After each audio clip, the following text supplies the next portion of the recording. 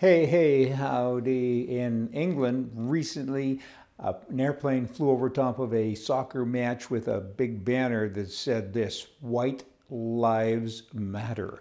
Everybody got torn up about that, and, and people were saying, you know, we're investigating this, that's the police, and so many other negative comments. And I don't know, it almost implies that, that uh, white lives don't matter or something. I don't know. And, and people went on to say this, you know, we don't deserve to have people like that around us, and they don't deserve to be around football. It's a minority of our supporters, and on and on, all kinds of negative remarks, only because someone said that uh, white is okay. Basically, I, I, guess people are thinking that this Black Lives Matter and, and it should be all lives matter, and somebody might be thinking that maybe white should matter. I don't know. I mean, everything is upside down these days. Let me tell you about me. I mean, my wife has been missing for one week, and the police came to see me last night and they said, prepare for the worst.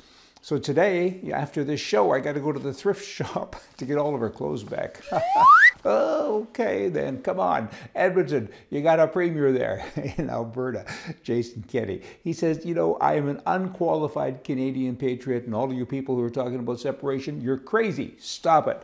Don't do that. And he says it's a empty one, that threat. And, you know, it's a wrong path for Alberta, and I can fix it. Just kind of give me some time. And so he said, Hey, I'm going to do a fair deal thing. And he put a panel together, and everyone's been waiting with bated breath. And they finally came out, and what was it? Nothing. Just nothing, effectively nothing. It was lip service, you know, paid to what? A whole bunch of things. I mean, Albertans are still upset. I mean, they're being hammered every day and people are taken from them and they won't allow them to work and there's a couple of hundred thousand people that are unable to work.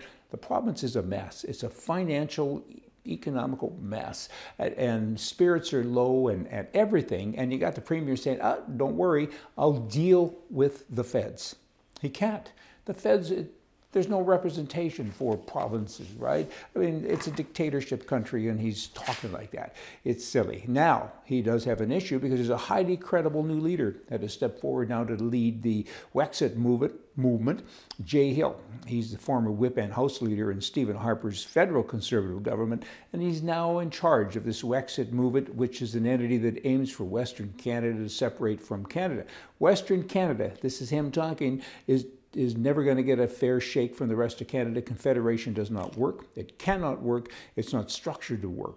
While we love Canada, we're tired of not getting any love back. It's kind of like a marriage, right? I mean, you kind of do it forever and, and you want it to work, but even though you still have love for your partner, maybe, you know it's time to move on because you're unhappy and things aren't getting done.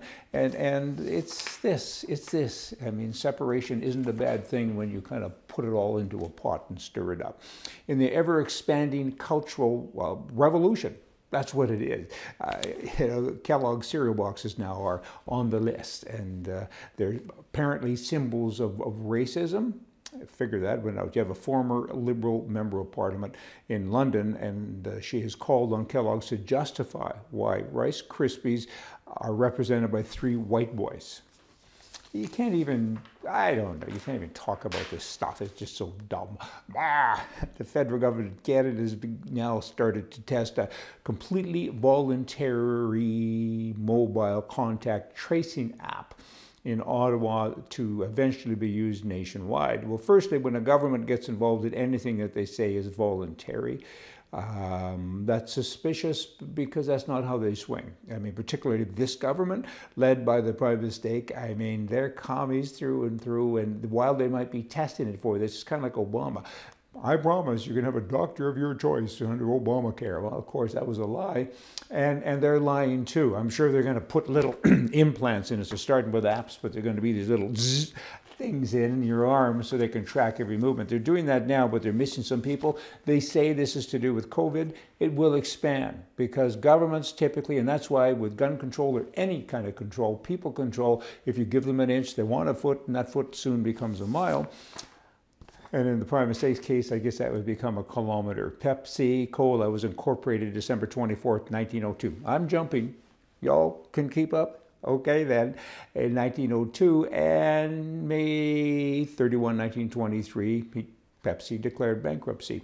They sold for $30,000, and PepsiCo products are now enjoyed by consumers more than 1 billion times a day, each and every day, in over 200 countries around the world, and they generate 67 billion in revenue per year. Kind of a nice story. It took a long time to kind of get there, but it's kind of cool. Now we have a joke.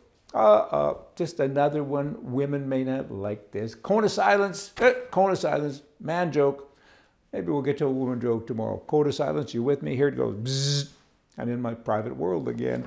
There was a guy, true story. It's a cowboy tombstone.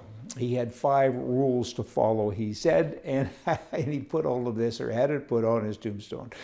Number one, if you want a happy life, number one, it's important to have a woman who helps at home, cooks from time to time, cleans up, and has a job. Number two, it's important to have a woman who can make you laugh. Number three, it's important to have a woman who you can trust and doesn't lie to you. Number four, it's important to have a woman who is good in bed and likes to be with you.